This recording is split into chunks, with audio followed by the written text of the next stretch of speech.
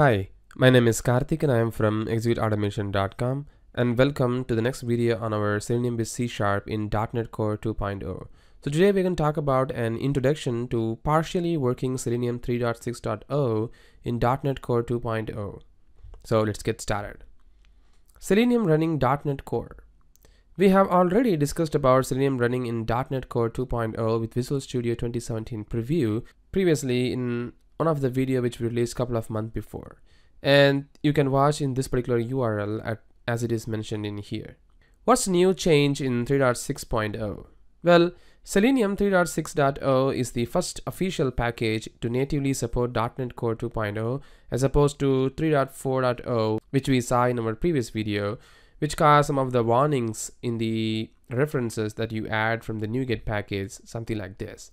And you can see in the right hand side the dependencies right now with 3.6.0 of Selenium has no warning, meaning it is currently officially supported with .NET 2.0, whereas the 3.4.0 does not actually officially support the Selenium .NET Core package, but still we could able to run the code and we saw how the test was working fine without any problem. But why is it partially supported suddenly while we still see the error that we were seeing before is currently resolved, at least in terms of the .NET package installation. Well, Selenium 3.6.0 is missing one of the most important class which is page factory used for page object models and page navigations. So this is one of the most important class as shown in here for Selenium 3.6 in .NET 4.6.1 framework.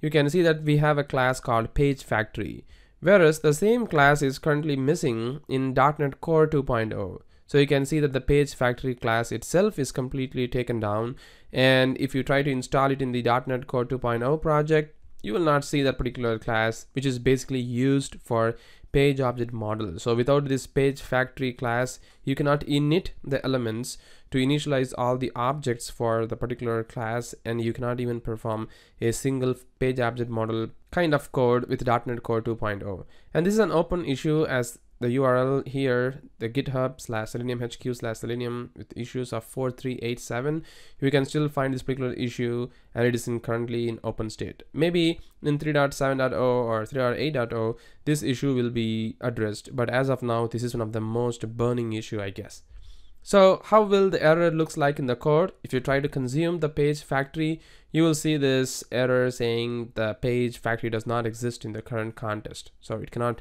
resolve the symbol page factory. So let's quickly see everything in action and understand how things work. So for that, I'm to flip to Visual Studio. Alright, so now I'm in my Visual Studio 2017 IDE and I'm going to create a new project this time with .NET Core 2.0. So basically I should go to this particular template .NET Core and you can select one of the uh, class console application project or and you can select the console application project or the class library project or unit test project whichever you like basically i'm going to select this one because it is going to support different versions of operating systems like windows linux and mac operating system as well with different versions as well right so i'm going to select this uh, unit test project and i'm name this as selenium with uh, net core and I'm gonna hit OK. So this is the latest updated version of Visual Studio 2017 which has the support for .NET Core 2.0 on board. So please install or update your Visual Studio so that you will get the support of .NET Core 2.0 out of the box. Else you need to actually install .NET Core 2.0 yourself and then perform the operation, which is going to be a pain. So I have already installed that in my machine before I start demonstrating. Because in our previous video, we were actually working on Visual Studio 2017 preview version but this is the full edition. So basically it is like a full working version of .NET Core 2.0 available in my machine. Right?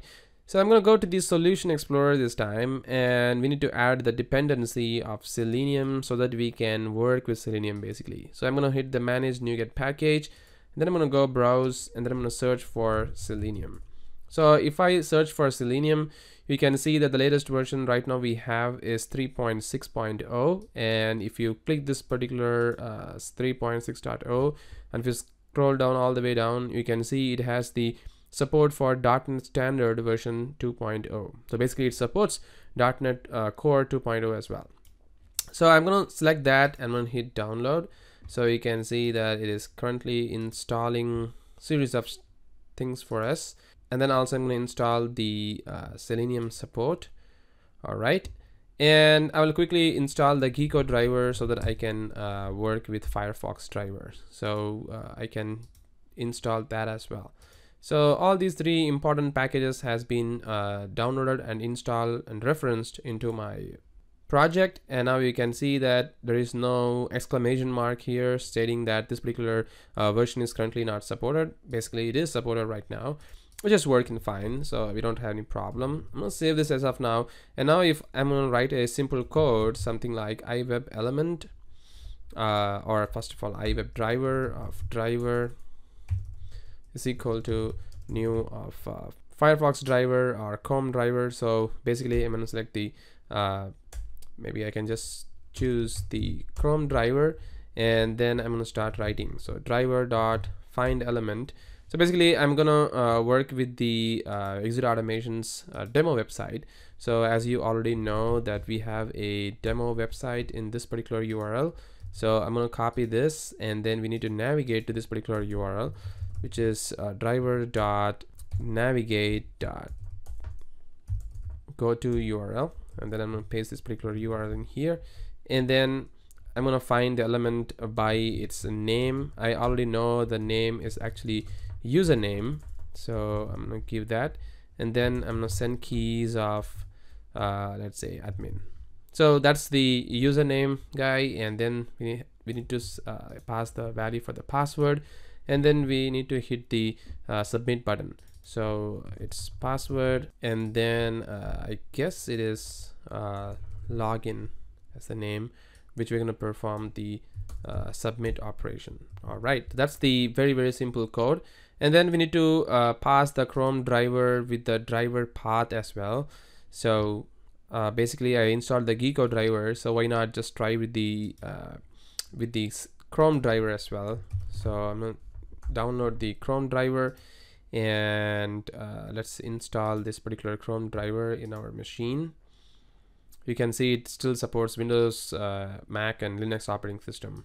So download that and then we need to paste this particular piece of code so that it can locate the driver within your code. So these things we have already discussed in earlier videos in our course. So you can just go ahead and watch those videos. All right. So now we have this particular driver. We have passed the driver path and we are navigating this particular url entering some value in there. I'm gonna hit login button there. That's it that's a very very simple code we're gonna do with our traditional automation code. We're not really using uh, the uh, page object model yet. So we're just gonna see if this particular code works fine without any problem. So i'm just gonna run this particular code. So basically you should open the browser and then it should enter uh, the values and things of that nature. So you can see that that code is actually working fine. It is entering the values like admin and admin and then it is going to hit the uh, login as well. So everything is working fine without any problem which is cool. Now the selenium is actually supported with the .NET course that's good. Uh, but the page object model that's what is the uh, that's going to be the problem basically as I already said.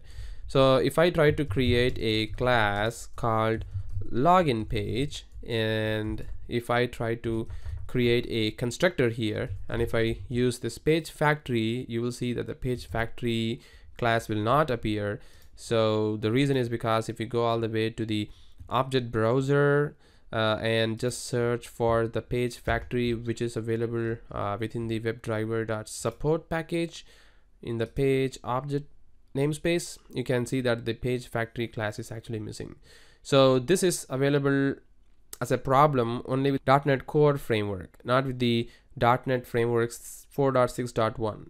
4.6.1 is still working fine with this particular class available in them, but only in .NET Core 2.0 this particular problem exists. So hopefully soon we will see that this particular issue will be addressed and resolved as well. Alright, so that's it guys. Once again, thank you very much for watching this video. Soon, once there is a release, I will update this video with a new features and we'll see how to work with page object model in .NET Core in both Windows and Mac operating system. Thank you.